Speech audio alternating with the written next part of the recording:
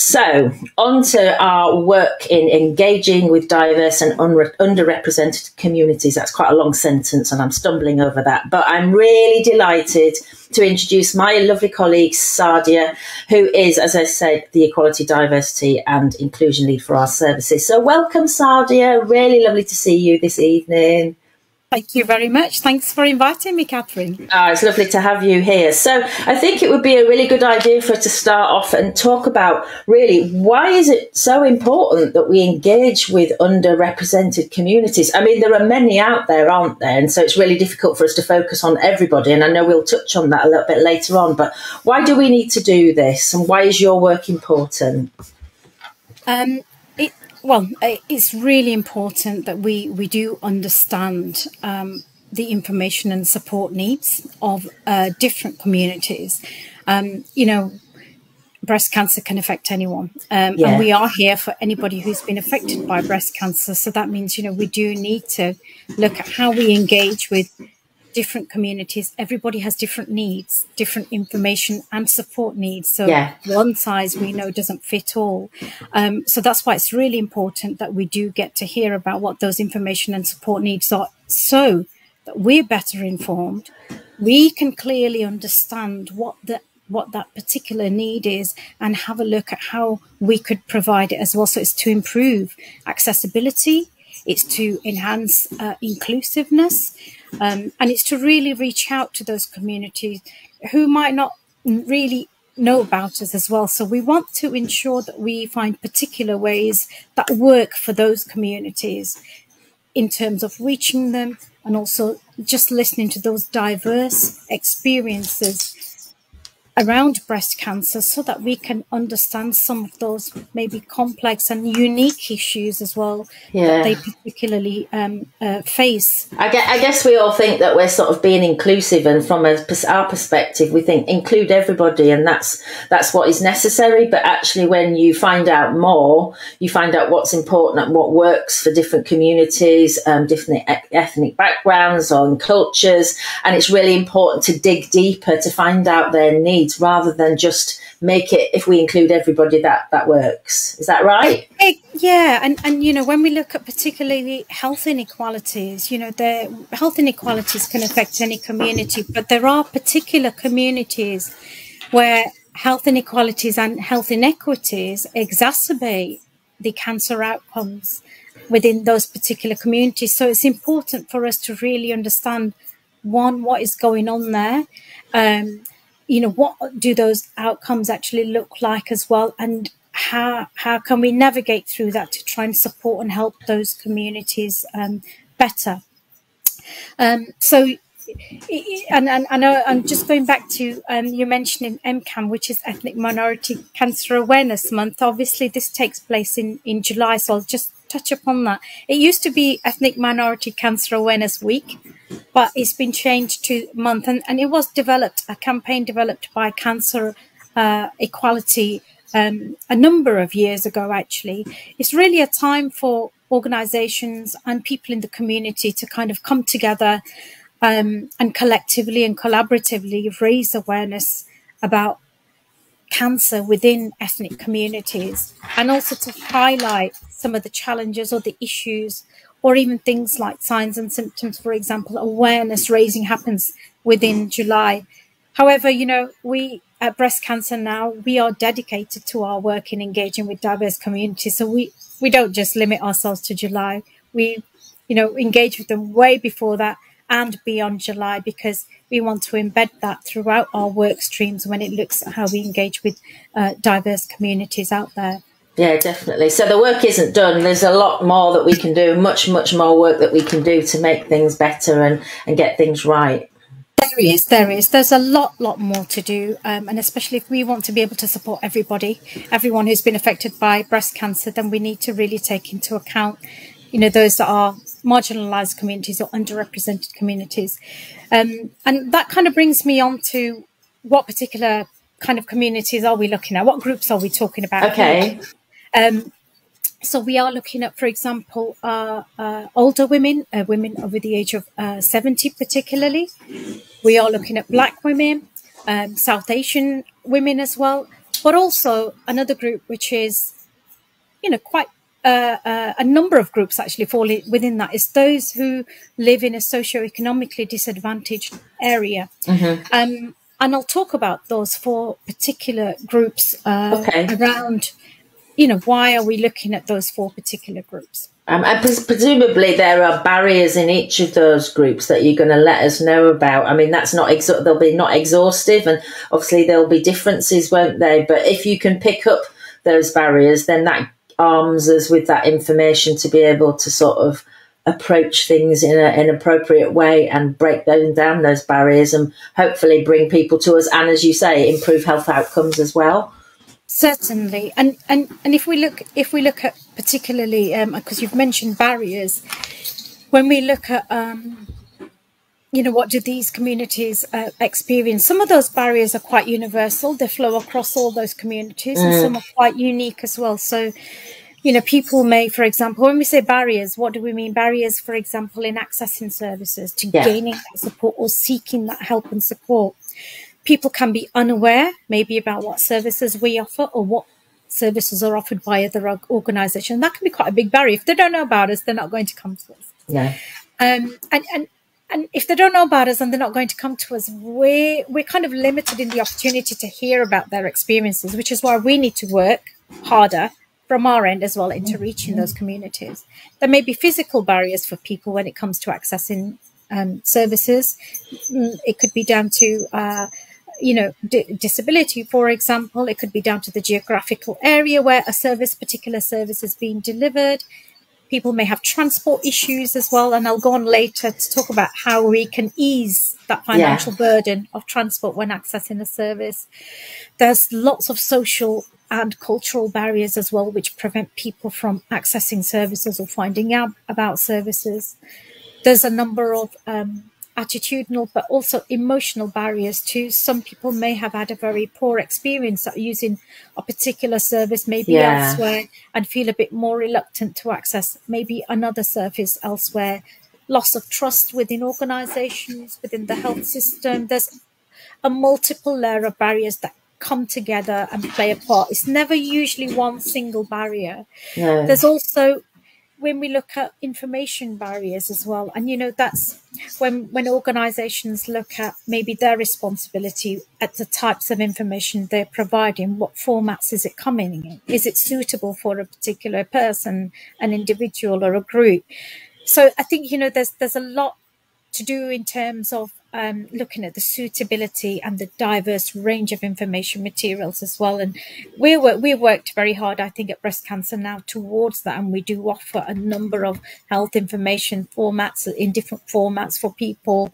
We have some, uh, for example, booklets in different languages as well. We have some easy read. So, but our work isn't still done there. We're no. learning all the time, aren't we? Definitely more on the list to be able to get to and do to be able to expand the breadth of that offer um, yeah. of different languages as well. And the things that you've been talking about of barriers. Um, you know you talked about unique barriers and universal barriers and we definitely come across um, you know when we talk on the helpline to people that we can't see and actually unless we ask their ethnic background or a bit more about their circumstances or that type of thing we haven't got any idea. So you know what's been going on for them isn't evident unless we chat through those sorts of things and then it becomes apparent. But giving the people the opportunity and saying, we're here for you to talk to us if you would like to do that and, and trust us in the confidential service that we provide on the helpline is really important and getting that out um, as one sort of gateway to our services and everything that we can offer um, now and hopefully improved in the future as well. And a really key point you've made there, Catherine, particularly around you know, when we have those discussions, when you have them on the helpline with people, it's getting to know the people, getting to know their circumstances. And sometimes, you know, if we ask for information, it's so that we can get a bit better picture of your support needs and, and, and so that we can actually look at where we ought to tailor a particular service to your needs as well. So there's a reason as to why we may ask for that data or for that information is so that we can look at, you know, best matched support, shall we say, that can can act, we we we could look at providing. Yeah, yeah, just that tailoring and that personalisation, because what one person wants isn't what another person wants, or fits with you know their situation or their culture or whatever it is, you know. Yeah, yeah, and that and that kind of brings in the the uh, equity part because when when we look at if we want to look at equality, yeah, we could maybe have a resource and provide that to everybody. So we're providing it quite equally. But when we look at equity, is that resource actually serving a purpose for everyone? It won't because we know one size won't won't fit all, uh, won't fit all, um, and we know that a particular mm-hmm. resource given to someone or support might not be suitable for the other person. So when we look at equity, we've got to really look at what we're providing for that unique individual and how suitable is it for them to be able to get gain benefit from using that particular service or intervention. Um, I know we touched upon like having our uh, booklets in different languages, so we know that language barrier can be quite a big barrier for certain communities um, where English is not their first language. So you know, as uh, from a services perspective, we're always looking at ways to improve that and see how we can get people to to come and access our services as well. Um, and we'll we'll talk about that a bit later on when we look at um, uh, how we're bringing um, certain interventions in. So, like for example, the Access Fund, we're having that translated into different languages as well, so people can understand. We've got something like the Access Fund available we also have obviously language line, which people yeah. use on the helpline, which you you you know about, Catherine. Yeah, but uh, but it's not used an awful lot, and so I think that demonstrates, you know, that sort of accessibility, or maybe even just knowing that, or knowing that the helpline is there, but not knowing that the language line can be used alongside it. It does say it in an awful lot of information, but if that information isn't in your language, you know, a way that you can understand, then that's obviously going to be a barrier too. But language line can be used, and we use it very successfully on the helpline. So if anybody sort of wants to know more about um, that, then then uh, you know obviously they can we can ask about that and pop some information on as well. Um, but yeah, that can use that very successfully to help people. And and just going back onto the the the barrier side of things, so we've we've looked at also people not knowing about a service, but also people maybe even if they do, they might find it difficult to make a decision as to choosing the right kind of support or service as well. And I guess when we look at the the other side of things, it's the systemic barriers that might also be existing. And and for example, if there's non-inclusive service design, um, which can give rise to gaps in the service provision as well. Like we said, you know, it it, one particular service is not going to meet the needs of everybody.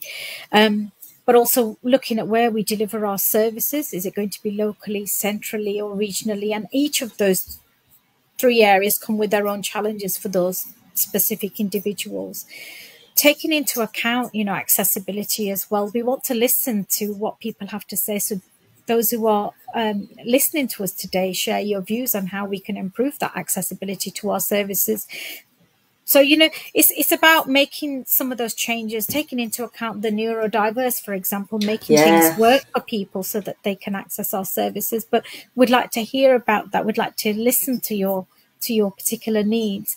Um, if I go back to those particular four groups that I yeah, I was going to ask sort of what is it about those groups that has made us want to concentrate in the first instance at least because sure. we've got to start somewhere with some groups. We can't do everything all at once. Then what is it that has made um, you know us focus on those?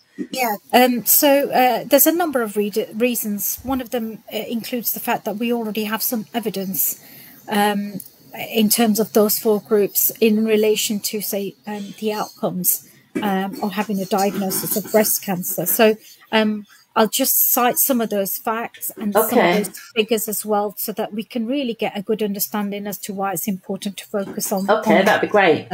So if we look at um, people over the age of 70, um, usually data is broken down for people over the age of 70 or 75. But if, you know, if we look at just how many older women uh, get breast cancer in the UK, you're looking at an average of like 19,000 women aged 70 and above. That's a big group. That's a very big group. That's uh, around 35% of the cases. Okay. And, uh, or another way to look at it is, is one in three of all okay. cases. Um, and, you know, if we look at particularly the mortality rate, then in the UK we're looking at around uh, 6,000, uh, just over 6,700 women die from breast cancer age 70 or over. Right. Um, and also, then if we look at the late diagnosis in older women with breast cancer, um, women diagnosed with breast cancer over the age of 70 are more likely to be diagnosed at a later stage compared to um, a younger age group. Late presentation of symptoms as well is linked with poorer survival outcomes, yeah. as you know. Um, so older women have been found to uh, wait longer than younger women before presenting with symptoms of breast cancer. Um, and also older women are more likely to be newly diagnosed with secondary breast cancer compared to white younger women. So we right. know there's a number of um, uh, uh, issues there that we need to really look at and address and find out how can we reach older women as well and, and give them the support and information that they need when they you know, are diagnosed with, okay. with breast cancer. And just on that note, with you saying about older women being that little bit more likely to be uh, diagnosed with secondary breast cancer, so, you know, later stage, stage four, metastatic breast cancer, then obviously we do have services for those with a diagnosis of secondary breast cancer. And I do know that we've got an online session for um, talking about secondary breast cancer and management of that and support of, of that patient group, um, that the, you know the 70 plus, which is coming up this next month. So um, we didn't chat about that before, but it's just sort of popped into my head. So you know, just to plug that one out there for if anybody's living with secondary breast cancer, they've got a diagnosis and they are uh, 70 plus and they wanted to join that, um, then we would be able to direct you and pop a pop a link in for for that and how you'd find more information out about that. So I thought I'd say that whilst I remembered Sadia. Thank you, Catherine. That's really, really useful. Um, useful to know. Um, if we move on to the um, uh, Black and South Asian women, so looking at ethnicity, mm. Um, you know, how are ethnically diverse communities, how are they impacted by breast cancer? Um, in the UK, breast cancer incidence rates are lower in women from ethnically diverse backgrounds, including South Asian, Black, Chinese, and mixed groups when okay. compared to white women. However, um, women from these backgrounds experience differences uh, in breast screening attendance, the stage and age of diagnosis, survival outcomes, and also experiences around care and, and treatment as well. Okay. There's also evidence that black women, for example, are disproportionately affected by triple negative breast cancer. Mm, very common in black women, and yeah. yeah and also um, if if you know anyone is from the Ashkenazi Jewish ancestry as well, or have a rare cancer or a genetic condition in the family, then this can also increase increase the risk. So we already know that there's some information there or the evidence there that's showing that that there's work that needs to be done with these communities. Mm. It, even when you look at breast screening as well, evidence is there to show that from women from ethnic backgrounds, um, there's a lower uptake um, due to maybe cultural or language barriers or just a lack of tailored interventions. Yeah. Um, alongside that, if we look at the age of diagnosis, there's a lack of recent data. So this is the thing data also plays a key part in our knowledge and how we understand how breast cancer affects different communities but there is a lack of recent data on the age of diagnosis by ethnicity however the evidence that does exist suggests that women from ethnically diverse backgrounds in the UK are diagnosed at a younger age compared to white women. Okay. And even if you look at the stage of diagnosis, black women are more likely to be diagnosed with more advanced breast cancers and breast cancers that have fewer treatment options, such as triple, triple negative, negative, which we mentioned. Yeah. So, so, so we know that that particular um, uh, uh, information, knowledge, or evidence is, is there for us to work upon, and we we all we know that late stage diagnosis is, is associated with poorer survival outcomes mm. in women from ethnically yeah. diverse backgrounds. Even looking at awareness um, kind of levels, you know, studies suggest women with breast cancer from ethnically diverse communities have lower breast cancer awareness and knowledge of symptoms and okay. risk factors compared to white women. And if we move over to looking at patient experience, particularly, you know, there is some evidence that suggests women from, uh, uh, say, South Asian backgrounds, they report higher levels of depression, anxiety, and poor quality of life when measured compared to white women as well. So there are a number of um, areas uh, that we do we do need to look at, but all this is saying to us that this is these are the groups that also need to be reached out to mm. and given that support. And if if we carry on and look at particularly um, areas of deprivation as mm-hmm. well. And there are some quite startling findings around around that when it comes to looking at breast cancer uh, and its impact. So, breast cancer incidence rates are lower in the most deprived areas in England, Scotland, and Wales compared to the least deprived areas. So, the incidence is lower. Um, if, Northern Ireland is slightly different, there's a different pattern seen there where there's similar incidence rates, whether it's okay. most or least deprived. Um, I don't know too much about that, but in England, Scotland, and Wales, we know there's a lower incidence in the most deprived areas. Mm. If we look at the stage of the diagnosis, women living in the most deprived areas are more likely to be diagnosed at a later stage of breast cancer than those living in the least deprived areas. So there's information there around the staging.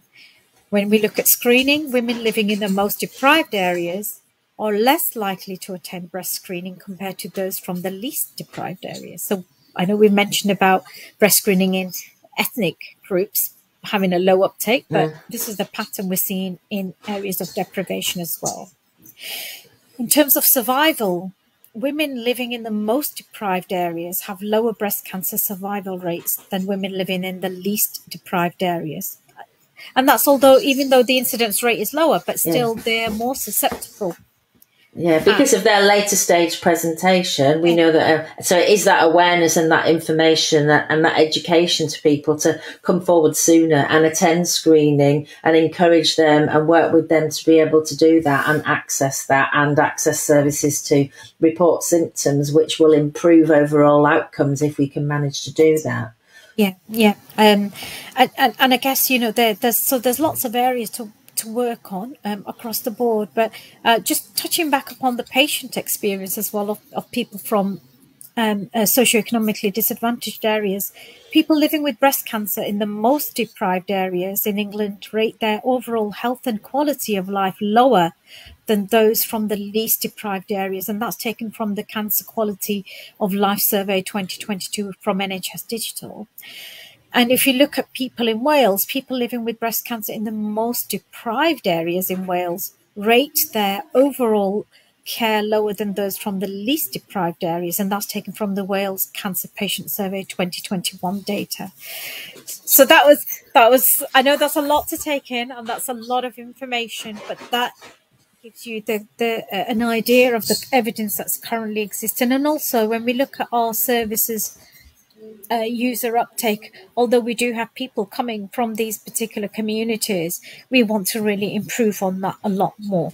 Yeah, so there's an awful lot of reasons there and evidence for us to sort of carry on and, and continue to try and work with communities to work out what's best for them and how we can sort of help and support them, whether that's as a breast awareness, um, you know, before breast cancer is uh, diagnosed or whether it is the support and the treatment of those people. So loads of reasons and reasons that I guess, you know, me as a nurse, I've heard over so many years when I've been involved in, in breast cancer, and we haven't necessarily, as a country, not necessarily just as a charity, really, when we're talking about services here, but overall health, thinking about the fact that we haven't made massive inroads. There may well be pockets and projects that have made inroads into that, and you know whether that's screening and encouraging, you know, sort of particular groups to come forward for screening. And of course, COVID came along and actually made probably made a difference to what any positive difference that might have been made that may well have you know had a negative effect on as it has done on so many aspects of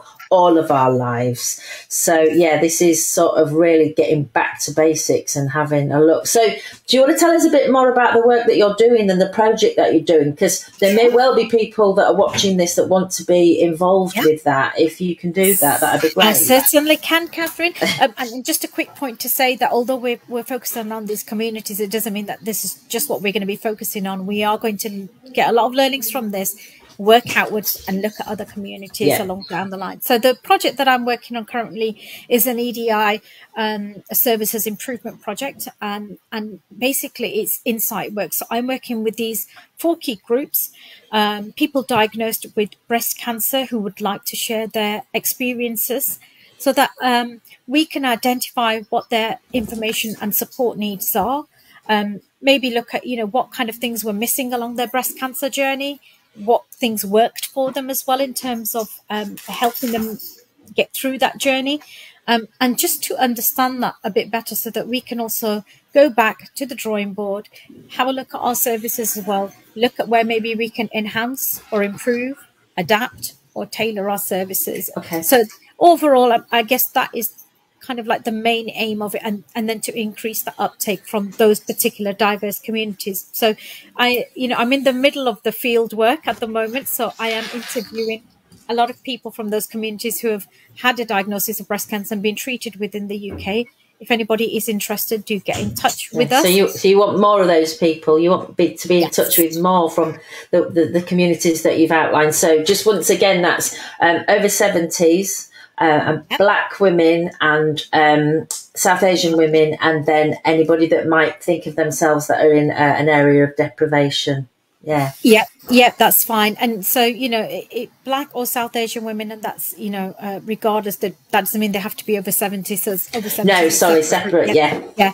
Um, so if you're over 70, regardless of ethnicity, and you would like to take part, it's, and I have tried to make it as accessible as possible. So it's literally having a discussion with me that lasts for about an hour over the telephone, in person, or online. It depends on whatever suits you. I'm more than happy to work with. Um, and it's about listening to your breast cancer experience and also your ideas and your thoughts about what we could do better, how we could reach your communities better as well. So we're looking for solutions from yourselves. And, and, and I think that's because we like to put people with breast cancer who have been affected by it at the heart of the work that we're doing. And it's, it is about collaboration and it is about listening to you. We don't want to be sitting here dictating what we think you need. We want to hear that from yourselves. And we'd also like to hear about certain solutions where you think we could make changes in order to reach your communities um, uh, better. Okay. Yeah. All right. So, um, just on that note, really, um, I suppose um, there is the question about where people can go to get support right now. It might be helpful just to very sort of quickly outline the services that we've got. So I have mentioned that we have the helpline and that we can use language line on that. Um, we've also got people can contact us, as I said right at the beginning, um, via uh, social media or email us if they want to. Um, uh, and we can respond to those um, queries um, privately. We can also ask people to post their um, questions on and comments on the forum. So there's an Ask Our Nurse area on there. That forum is, is public, so it's a public question and it's a public answer, but privately you can message us or email us. But then we also have support for, through the Someone Like Me team. So that's uh, a sort of a one to one peer support uh, service, which um, a huge amount of people use. Um, and that's whether you uh, have got a breast cancer diagnosis, maybe you've got an increased risk of developing breast cancer because of a genetic um, alteration that has been identified, or maybe you're uh, a family member, that type of thing. And I know we've got a number of volunteers because that's a volunteer uh, run service, not run service, it's coordinated by our lovely colleagues up in Sheffield, but the volunteers that are those peer, is that peer support we've got a wide variety of people from backgrounds and also that speak different languages as well. Not every language, unfortunately,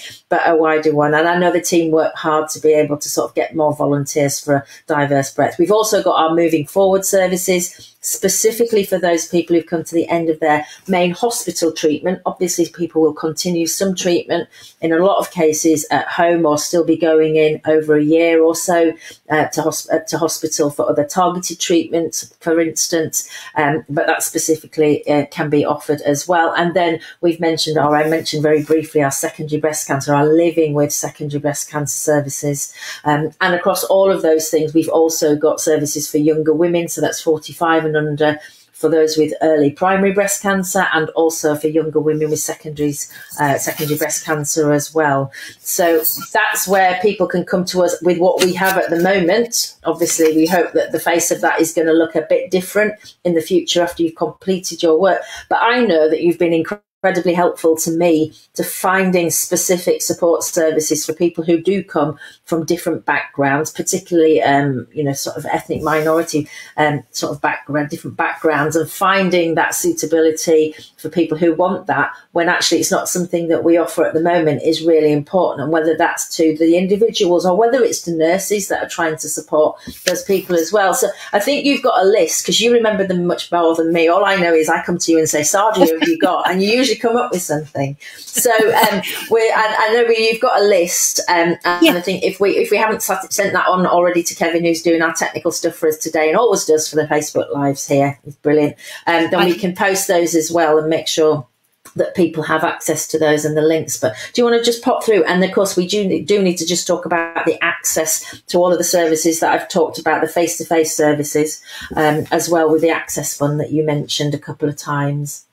Yep. So the, the Access Fund is there really to help um, uh, those people affected by breast cancer who need to access our services. Although our services are free, when we're delivering them, particularly face to face in in on the ground, then it's it will obviously cost people to actually get to those. So anyone who's in any kind of financial difficulty, then the Access Fund is, is there for to, to help you basically with with things like that as well. It's not just restricted to travel; it's to other other areas as well. Yeah, and I know that from a second, I know from second secondary breast cancer point of view, sometimes it's not necessarily that it is a finance issue, it's a practical issue as well. People are unable to drive themselves, maybe public transport is a bit scarce, or actually they don't feel confident enough to travel on the transport because of you know the, their mobility, that type of thing. So um, I know that an awful lot of people access that um, that fund or have been doing, and where they have been doing, then it is for sort of those practical as well as financial reasons to be able to to make sure there is equity of access to that and it, the, those barriers that can need to be, be dealt with. And um, I think the fund, I think, is, is um, given to us by ASDA, isn't it? So a big shout out to ASDA to be able to say thank you to them for doing that. They're making a big difference to a lot of people who are accessing those. Yeah, certainly. Um, and also, um, I, I mean, shall I go through the? Um, yeah, if you if you go through yeah. your list, I think it would be just a sort of what it's called and who it sort of supports, etc. Then we, that would be really yeah. helpful. But we'll That's we'll we'll use some links and be able to pop them in the chat underneath as well. Yeah, no, no, that's absolutely fine. So, I mean, there are a, a whole uh, number of organisations out there, but again, it's that whole thing about well, do you know about them? How are people made aware? So, um, there are a number of organisations who've been absolutely fantastic. Um, uh, in, in providing support to particular and, and certain communities because they have the know-how, they're the experts as well. So we have um, the CanSurvive UK. Um, they provide support and information for people with cancer. So it's, it's not just breast cancer, it is no. pan cancer. Um, they are based in Manchester. Um, but they provide like support groups and hubs in, in places like the Cathlock Centre, Holme, Limelight Wellbeing Hub in Old Trafford, Holy Trinity Community Centre, and Positive Steps in Oldham as well, and Tameside.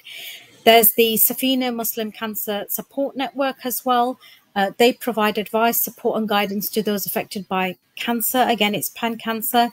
Information, uh, they give information on different types of cancer, they give religious guidance, and they also have an online community. Okay.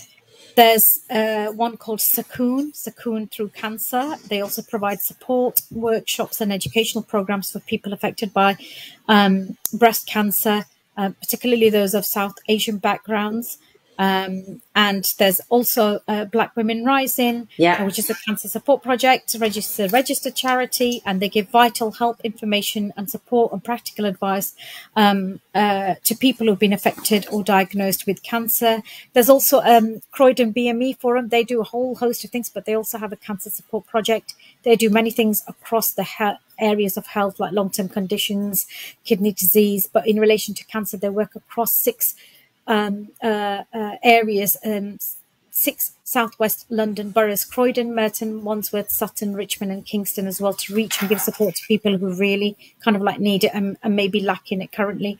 Um, so yes, there's just a number of, of, of them as well. But if, if you want to reach out and you, you want support as well, uh, there's reach out to us and we'll see what we can do for you. Yeah, um, and like you say, you know, there will be others. That's just a sort of a small list. I'm also conscious that we've said women an awful lot. Um, I know that men isn't a, some, uh, you know, a group that you're focusing on on a more uh, um, uh, at the moment. Um, but if uh, there is information about support for men on our web pages as well, so just so that we make sure that we include them as well if and people need that. Yeah, and men with breast cancer can also take part in my insights. So I have already recruited. Um, Brilliant. Okay. From the group over seventies and those who, uh, who uh, might regularly struggle to afford to pay for food bills um, and, and, things like for essentials, they can come forward and talk to me if they want to take part in my insight as well. There is also a payment for involvement because it's a thank you for your efforts, okay. for your time, for sharing your breast cancer experience. So um, that that comes as, as part of, of the insight work as well. Okay, that's really helpful. And I suppose beyond that, then it's probably worth us just saying, you know, if you want to continue to support us in the way that of, of you know, coming to us with those solutions, using your voice, giving us your ideas, then we've got voices, haven't we? We've got our library voices as well, but we've got voices, we have got volunteering, um, all sorts of bits and pieces that people could be um, involved with. And as you said, you know, people are at the heart of everything that we do. Um, and it's always brilliant brilliant to have a service user or somebody who's had an experience as part of a project or part of our work because they keep our feet on the ground and they tell us how it is. It's not us thinking what is going on and what we should be doing. We need them to tell us what we should be doing. And that's really is the basis of the, the work that you're doing, isn't it? It is. It is, Catherine. And I'll give you a really good example there. So in terms of voices, so a great platform for people to come and share what their thoughts are and how creative we can get as well. So on my project, I have an advisory panel group that's made of voices members, so people affected by breast cancer. They help guide and steer my project in the right direction. Okay. They're a fantastic source for me to go to when I may be facing challenges, um, and and they come up with some fantastic, realistic solutions as well. So if anybody is listening and you think you know your, your, your input will be invaluable. If you want to sign up to become a volunteer or become a voices member uh, please do Okay, and our voices information is on the website as well, and hopefully the, the, the man listening might just pick up on that, and we'll find the we'll find uh, get Kevin to pop that into um, the um, into the chat as well, so people can find out more information, and if they want to find out more about uh, joining voices, then they can do.